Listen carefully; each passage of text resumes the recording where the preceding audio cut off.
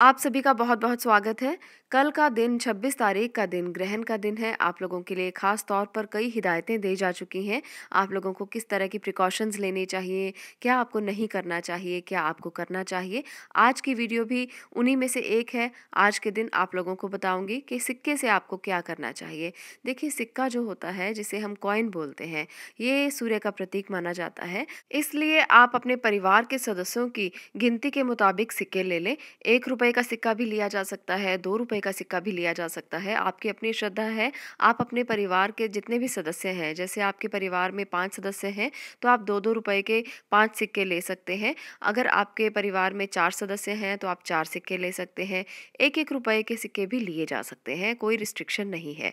आप लोगों को अपनी श्रद्धा और भाव के अनुसार सिक्के लेने हैं और रात को सोते हुए इन सिक्कों को आप अपने अपने तकिए के नीचे रख लें और इसके बाद आप उन्हें आज ही रख लें। आज जैसे सूतक प्रारंभ हो जाएगा, आप उन्हें अपने तकिए के नीचे रख लें और जैसे ही ग्रहण खत्म होगा, उन सिक्कों को आपको अपने शरीर से वार लेना है। अपने शरीर से आप इसका उतारा कर लें और इसको उतार कर आप किसी गरीब व्यक्ति को दे सकते हैं या आप किसी ऐसे व्यक्ति को दे सकते हैं जिसको उसकी ज़रूरत हो। ऐसे में आप लोग इन रुपयों को, इन पैसों को जो आपने अपने तकिए के नीचे रखे हैं, आप इन्हें जो भी चीज़ दान कर रहे हैं, जैसे आप गुड़ का दान कर रहे हैं, अन्न का दान कर रहे हैं, या किसी काली वस्तु का दान कर रहे हैं, अपनी अपनी राशि के अनुसार मैंने बताया हुआ है अलग अलग वीडियोज़ में कि आप किस चीज़ का दान करें तो ये जो सिक्के हैं, उनको आप अपनी उन चीज़ों में, बीच में रख कर भी उनको दान दिया जा सकता है।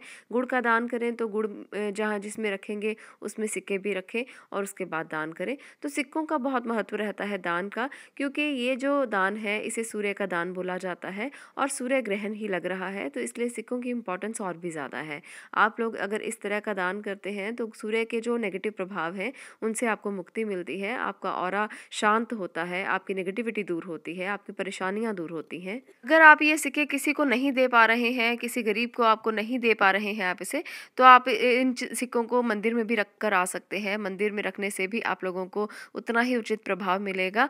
आप लोग इसे पानी में ना डालें। इस बात का ध्यान रखें, या तो मंदिर में रख दें, या किसी गरीब को हाथ में पकड़ा दें। ये जो उपाय है, ये आप अपनी श्रद्धा भाव के अनुसार कर सकते हैं। अगर आपके पास ज़्यादा पैसे हैं, आप कर सकते हैं दान तो तरतालीस तरतालीस सिक्के भी रखें।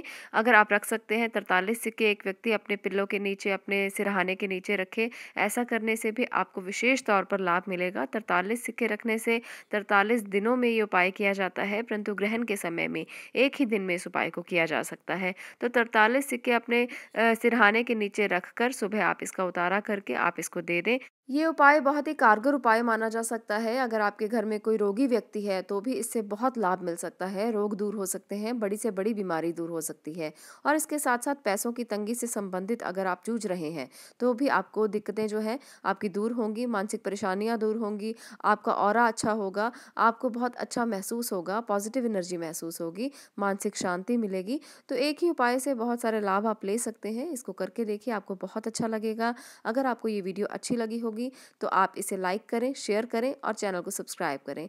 देखिए, दूसरों के साथ शेयर करने से चीज़ें जो है, वो बढ़ती हैं, घटती नहीं हैं, इसलिए शेयर ज़रूर कीजिए, ताकि बाकी लोग भी इसका लाभ उठा सकें। आपका वीडियो को देखने के लिए बहुत बहुत धन्यवाद।